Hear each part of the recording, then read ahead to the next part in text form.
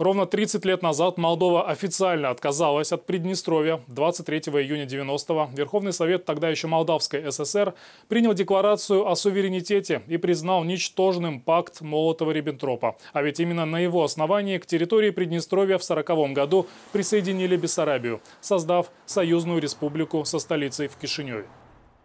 Решение парламента в 90-м году нынешние молдавские власти стараются вспоминать только как первый камень в фундамент своей государственности. Тот факт, что 30 лет назад Молдова по сути отказалась от Приднестровья, старательно обходят стороной.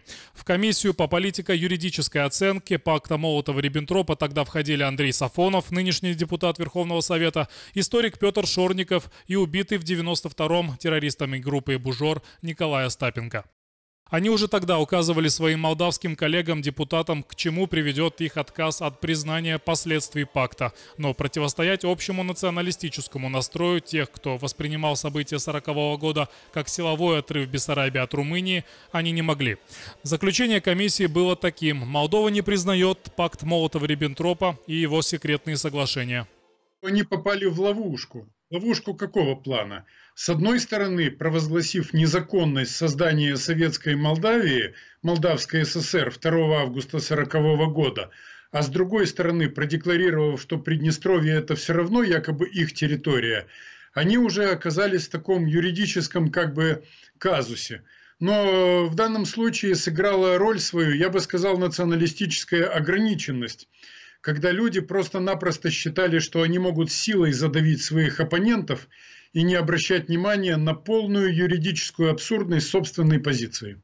Андрей Сафонов вспоминает, голосование в парламенте было непростым, но победило националистическое большинство. В те годы в Кишиневе делали все, чтобы, забыв советское прошлое, расчистить путь в Румынию. К позиции оппонентов никто не прислушивался.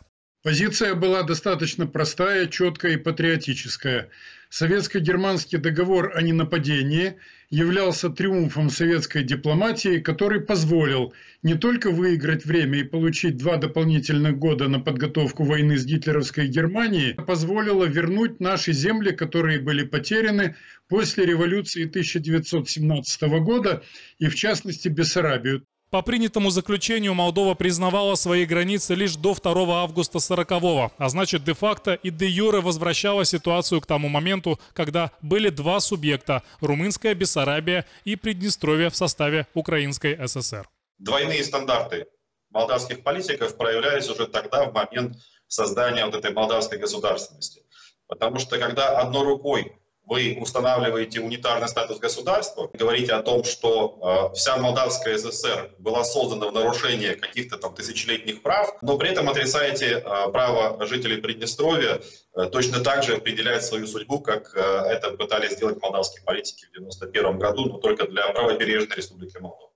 О том, что в начале 90-х Молдова сама разрушила свою государственность, не раз говорил и президент Красносельский. По его словам, своим решением парламент Молдовы фактически разделил Бессарабию и Приднестровье и отказался от появившегося в результате пакта общего государства. Причем сделал это Кишинев за несколько месяцев до создания Приднестровской Молдавской республики.